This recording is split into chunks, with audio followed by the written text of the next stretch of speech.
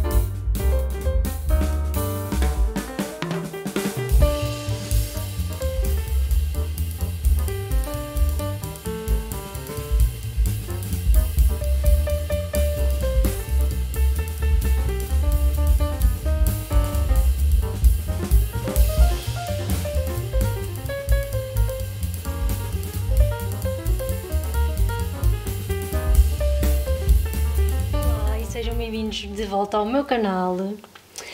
Hoje estava hum, a pensar em dar uma organização no frigorífico, no, na arca vertical e na despensa, uma vez que estamos a chegar ao final do mês de janeiro, os cartões de alimentação estão quase a ser carregados e entretanto eu preciso de ver o que é que tenho em casa para saber o que é que vou comprar e em que é que vou investir no próximo mês frigorífico não estava muito sujo, dei assim uma limpeza básica, mas se quiserem ver a fundo como é que eu limpo, se, querem, se quiserem ver como é que eu limpo a fundo o frigorífico, eu já tenho vídeo cá no canal, posso deixar linkado aqui nos cards. A nível de congelador, uh, filmei assim só umas imagenzinhas, mas basicamente foi ver o que é que eu tinha em cada gaveta. Um, encontrei diversos, diversas fatias de pão espalhadas para depois fazer pão relado misturei uh, o que era para misturar, tive a ver o que é que estava bom para consumo, o que é que não estava, organizei melhor as gavetas e vou-vos mostrar como é que ficou o frigorífico e a arca e depois vocês vêm arrumar comigo a minha dispensa. E aqui o meu frigorífico vocês já conhecem. Um, aqui, como estamos no final do mês, dá para perceber que está um bocadinho vazio, tenho apenas três iogurtes, sendo que só posso contar com dois porque um deles vai ser para fazer mais iogurtes, mas isso vai ficar despachado esta noite. Tenho ali uh, queijo Filadélfia, manteiga que nós gostamos que é a planta, aqui as cervejas do homem, ali a água tónica para fazer alguns gins, algumas bebidas, ainda sobra aqui champanhe que eu tenho andado a utilizar uh, em algumas receitas, mas que sobra da passagem de ano, um licor de café que eu fiz da Bimbi, e está assim com mau aspecto que isto tem que ser agitado antes de consumir a água, que o meu namorado gosta de água fresca, uns termossos, aqui é um resto de limão. Ali só tenho 8 ovos, tenho que comprar mais porque isto não chega para a semana. Tenho aqui o meu leite de vaca, o meu leite de aveia, o sumo do homem que é este assim de pera. Tenho aqui um restinho de sopa, um restinho de arroz, um restinho de massa com legumes. Depois tenho que fazer uma carninha para juntar com estas coisas, uma carne ou um peixe. Aqui são as frutas do homem, porque ele gosta de fruta fresca, tirando isto, que é o resto da minha banana que eu ponho no frigorífico. Só uso meia banana para fazer, eh, para utilizar nas papas de aveia, a outra metade eu ponho no frigorífico, uns tomates, umas limas e uns limões. Cá embaixo umas cenouras, uma abóbora, isto aqui é um bocadinho ainda de gengibre. E é o que temos aqui, pronto, algumas compotas, indicação dos gatos, fermento fresco de padeiro, margarina, umas natas frescas, chantilly, uh, uns molhos, um limão, mais uns molhos. Aproveitei a dica da Luciana e pus aqui a minha cebola, a minha... Está a ver que isto agora estava a agarrar, eu tinha isto no frigorífico. Estava a dizer-nos ser rudemente interrompida pelo frigorífico. Eu pus a cebola em pó e o, e, a, e o alho, porque ela tinha dito que funcionava muito bem, deram-lhe essa dica para isto não agarrar. A minha casa, como é muito úmida, acontece que o alho e a cebola agarram no fundo e depois ficam impróprios para consumo. Mas, olhem, impecável, gostei muito desta dica. Utilizo aqui no, frigorífico e não tem problema de ficar agarrado no fundo. Pronto, massa de alho, ainda de pinho doce, que quando gastar vou fazer minha própria na bimbi. mais uma compota que não cabia lá em cima. Eu é raro comer compotas, mas pronto. Tenho aqui mais compotas que foram oferta de Natal da empresa do homem. Aqui um concentrado de tomate. Mais um espumante, um vinho verde, vinho branco culinário, groselha que eu ando a gostar muito de juntar com 7-Up quando acontece uma coisinha doce. E um vinho branco. A nível aqui de congelador, na primeira prateleira temos as coisas mais rápidas de cozinhar ou comidas que já estão feitas e que foram congeladas. Isto aqui é uma quiche, tenho aqui uns picolinhos que são umas mini, mini pizzas, tenho pão ralado, tenho pão congelado para ralar, tenho aqui uns cordon bleu, tenho aqui uns falafel e uma, uns croquetezinhos, são comidas que hum, quando eu estou assim mais na pressa e que quero cozinhar uma coisa rápida, é isto que eu uso. Ou então, se quiser comida que já esteja feita para levar para o trabalho, que às vezes é só uh, cozinhar um acompanhamento rápido, meto a descongelar e costuma estar deste lado. Nesta zona é parte de, do gelo, a parte das placas de gelo também, às vezes, quando é preciso para pôr numa garrafa ou para levar na lancheira.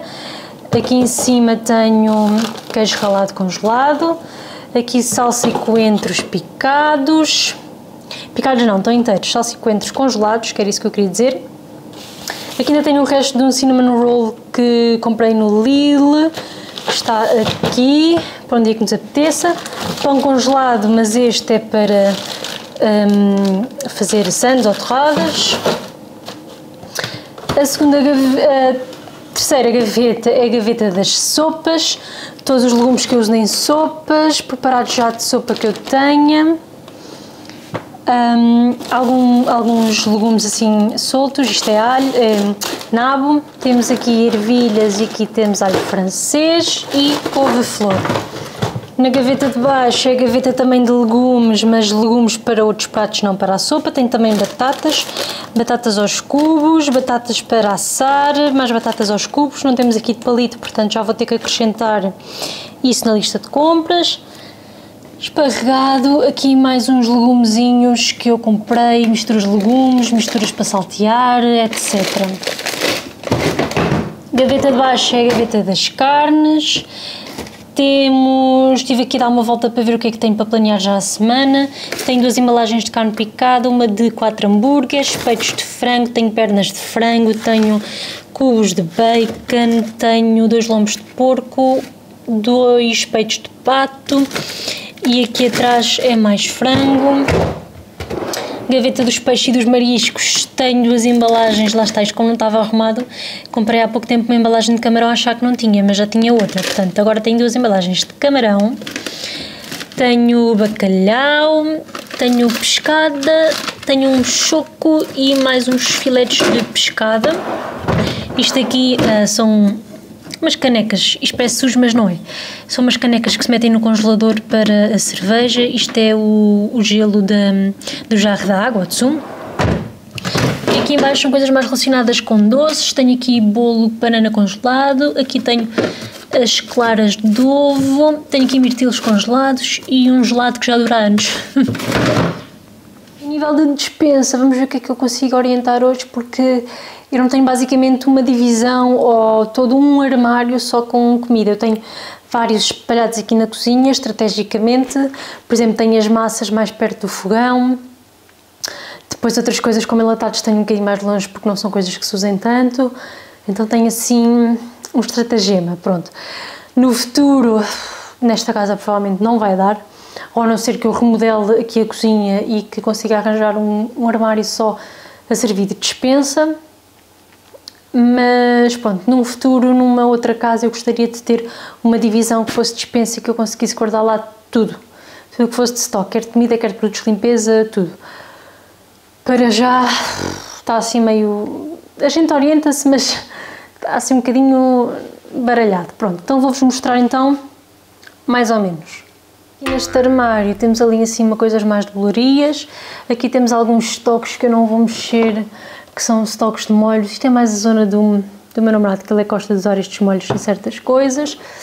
Aqui está também uma grande confusão, porque supostamente esta é a prateleira dos, das bolachas e das coisas do meu namorado, mas eu entretanto já não tinha espaço para pôr certas farinhas e fui pondo aqui. Ah, e tenho papel vegetal também, tenho que organizar isto. Aqui mais açúcares e farinhas que eu não tinha espaço já para pôr. E aqui é a zona dos enlatados. Está assim um bocado caótico. Aqui é a minha zona das bolachas, chocolates, frutos secos, etc. Coisas que só eu é que como, com o meu namorado não liga nenhuma.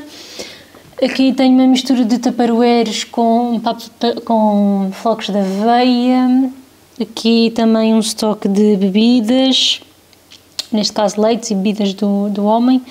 E uh, tenho ali também uns pirexinhos, tenho ali uns frascos de vidro que tenho andado a guardar para coisas que sejam precisas. Também serve mais ou menos de dispensa, mas mais relacionado ali com bolerias. Aqui uns molhos que preciso que fiquem mais à mão, as minhas bebidas um, de chocolate e, e pensal e essas coisas, mais farinhas. Aqui ao lado é onde nós temos as massas que estão a uso, mas depois tenho aqui as massas que estão de estoque, as batatas fritas, os chás, portanto isto está assim uma grande confusão como podem ver. A nível de massas eu tenho assim mais ou menos controlado, por isso eu acho que vou mais para a zona um, das bolachas, enlatados e um, leites e essas coisas que, que é o que eu tenho assim não tenho menos noção do que é que tenho, percebem? Uh, por isso é isso que eu vou arrumar.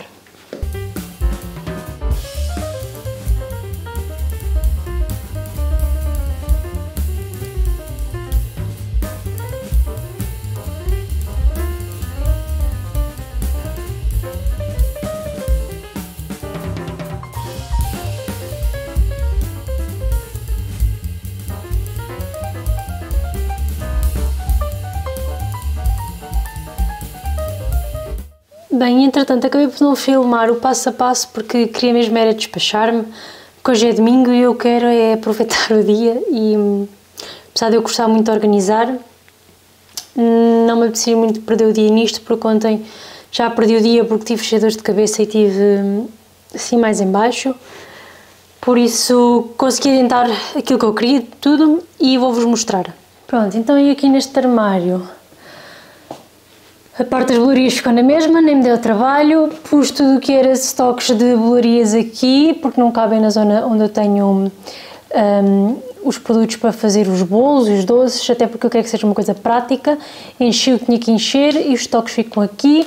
Estas tostas que são mais para quando recebemos visitas estavam na minha prateleira também ficaram aqui. A prateleira do homem está um bocadinho vazia e eu já sei que ele vai ver este vídeo e vai reclamar comigo porque eu não lhe compro chocolates, que eu não lhe compro bolachas. Mas pronto, amorzinho, tens ali bolachas para gastar. Aqui organizei assim a zona de, dos enlatados. Eu gosto de ter isto assim minimamente virado para cá para eu conseguir perceber o que é que eu tenho. Tenho aqui feijões, tenho aqui grão, cogumelos, ali é grão seco, que às vezes a Bimbi pede umas receitas. Tenho ali os atuns, uh, natas, encontrei umas quantas natas que estavam fora da validade, por isso tenho que repor. Estive a orientar também as datas de validade tal qual como se organiza no hospital, que é coisas mais recentes mais para a frente, coisas que têm uma data de validade mais prolongada, vai lá para trás. Que é a parte das salsichas e porquê é que eu tenho quatro embalagens de, de milho? Só eu com milho. Tenho que arranjar qualquer coisa para gastar isto. Não sei porque é que eu tenho tanto milho. Enfim. Aqui a minha zona, eu hum, aproveitei uma dica da Luciana de utilizar estas embalagens da Pensal, do Mocambo e de alguns, hum, alguns produtos que nós compramos, como por exemplo as salsichas, etc. Lavo, tiro os rótulos e organizo muito bem assim. Consigo ver melhor o que é que tem cá para trás. Tenho aqui algumas sementes, linhaça, bastantes frutos secos aqui. Estes aqui são mais os que têm sal, que é mais de entradas para quando recebemos visitas, mas está aqui por agora. Tenho ali bolachas e bolachinhas que eu nem como muito, porque entretanto fui deixando de comer, prefiro fazer coisas mais caseiras e ir comendo. Tenho marshmallows para as minhas bebidas quentinhas, por exemplo, leite com chocolate que eu gosto muito. Bolachas e bolachinhas. Tenho aqui atrás a minha granola que gasta-se, que é uma maravilha. Aveia grossa para as papas de aveia, aveia fina para a granola e para outras receitas. Esta dica também que eu aproveitei da Luciana de picar os frutos secos e depois ir consumindo para não abusar e até dá mais jeito para comer um, do que ter os frutos secos inteiros. Tenho que repor aqui isto, mas acho que não vai ser uma tarefa para hoje, porque isto ainda me chega para pelo menos mais três pequenos almoços, por isso está ótimo. Tenho aqui um chocolate que me foi oferecido no Natal, mas que eu sinceramente não, não aprecio muito. Eu ando muito fã do chocolate negro e chocolate de leite, mas o chocolate de leite é um vício e eu não posso ter cá em casa porque senão vai estar leite no instante. Mas este aqui tem mandado mesmo a arrastar porque não é. Não sei, não, não é um sabor que me agrada. Aqui então uh, mudei um bocadinho aqui a dinâmica destas duas prateleiras. Aqui tenho os tupperwares e umas coisas que já não me cabem na, no armário dos tupperwares ou que são coisas mais para utilizar para cozinhar, por exemplo, quando eu quero um, fazer bolos ou assim. Pus tudo o que eram frascos de vidro que eu quero reaproveitar, pus aqui. E aqui embaixo ficou então os nossos estoques, uh, leite de aveia. Eu quero muito ver se compro um pano de algodão para começar a fazer um leite de aveia caseiro. Porque, apesar deste ser bom, tem assim algumas substâncias que são menos uh, benéficas, portanto, e eu ainda não consegui encontrar nenhum, pelo menos aqui perto de mim, que eu sei que existe, mas aqui perto ainda não encontrei nenhum leite de aveia que seja só um, aveia e água, sabem? Então prefiro fazer em casa, mas vou gastar isto e depois vou comprar os panos para conseguir fazer a minha leite, o meu leite de aveia em casa. Tenho aqui os meus toques de aveia, dois de aveia grossa, dois de aveia fina. Lá ao fundo tenho os sumos do meu namorado, um vinho branco de culinária. Tenho aqui um mocambo, já pus na minha lista para comprar outro pensal.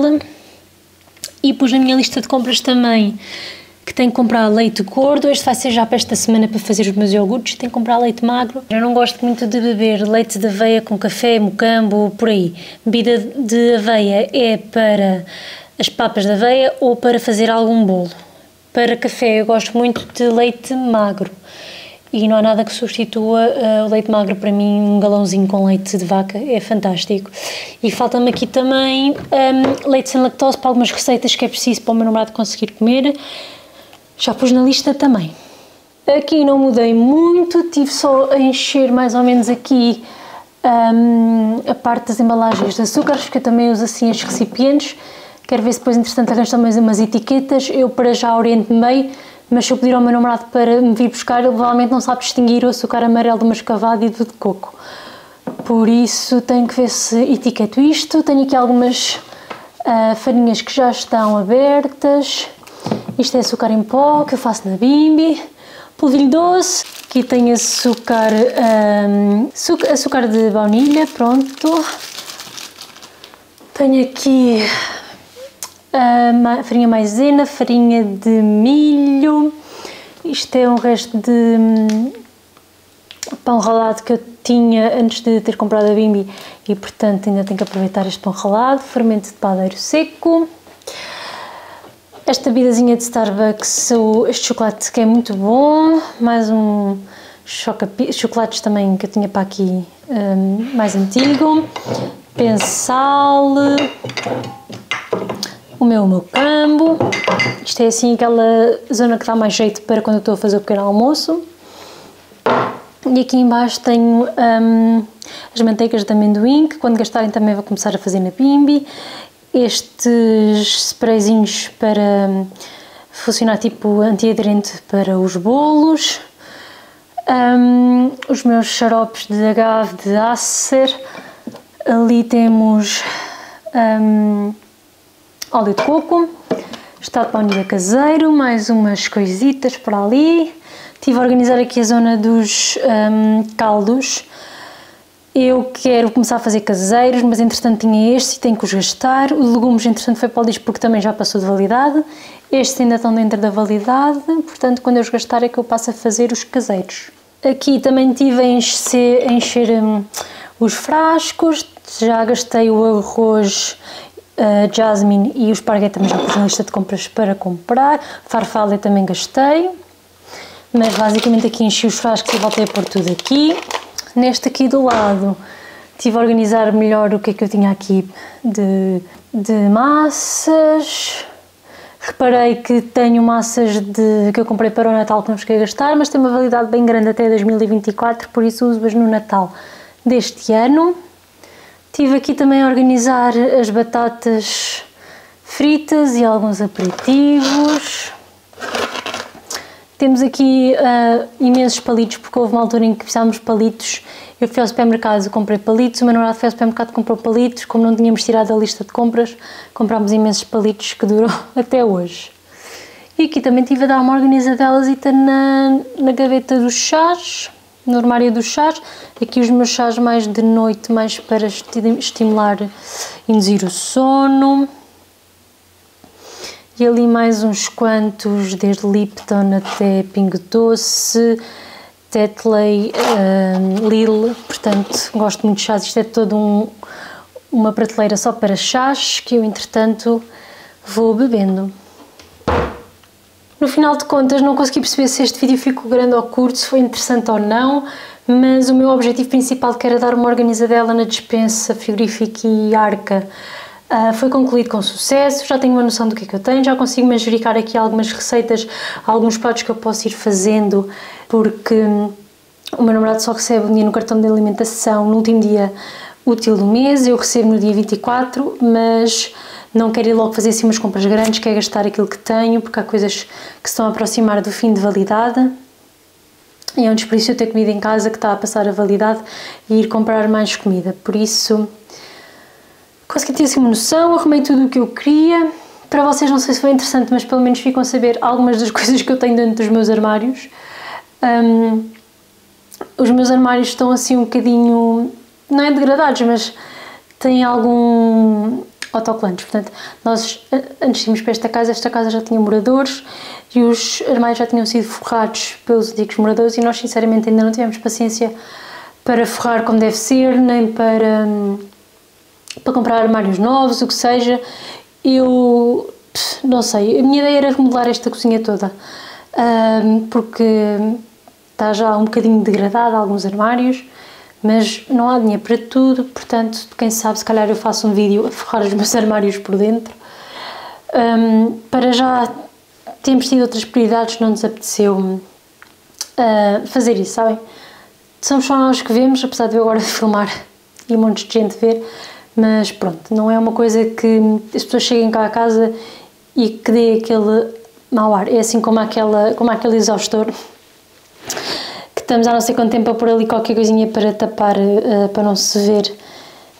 Mas pronto. Sim, planos nós temos, uh, sonhos nós temos, projetos nós temos, budget, não. Mas pronto, não se pode ter tudo. É mesmo assim a lei da vida. Espero que tenham gostado, espero que tenha sido minimamente interessante este vídeo. Para mim foi porque consegui uh, organizar muita coisa daquilo que eu queria. E se tiverem gostado, por favor, coloquem um gosto. Se vocês assistem aos meus vídeos e ainda, ainda não são subscritos, podem subscrever também para ficarem a par dos meus conteúdos. E vemos no próximo vídeo. Tchau!